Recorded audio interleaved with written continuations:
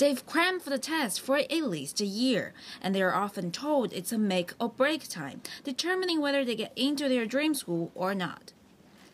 Gaokao is a big deal for non-test takers too. No construction is allowed these few days, no karaoke in the evening, traffic's in control, and look at all the policemen, all to ensure that the test takers are not disturbed.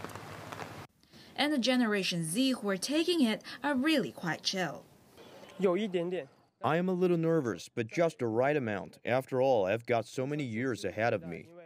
Whatever happens, you can always bounce back. And this year they are much more in control. For the first time, the graduates are able to say no to majors they don't like, even in cases where they have to settle for assignments. Assigning a major mostly happens when somebody doesn't score high enough on the test. They can still go to the university they opt for, but will have to settle for an assigned major. The new policy ensures they don't get assigned a major they like the least. My first choice is finance, and definitely no physics studies. I would like to study engineering, and I would not accept arts major. Educators say this year's students are already winners in mentality.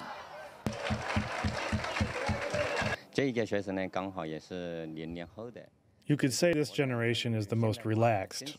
They grew up in an age where there are so many choices and so many new ways to learn, and they're definitely more aware of the possibilities out there. And after a day of grueling tests, the cool kids of the 21st century do remain cool. 深夜 CGTN 广州。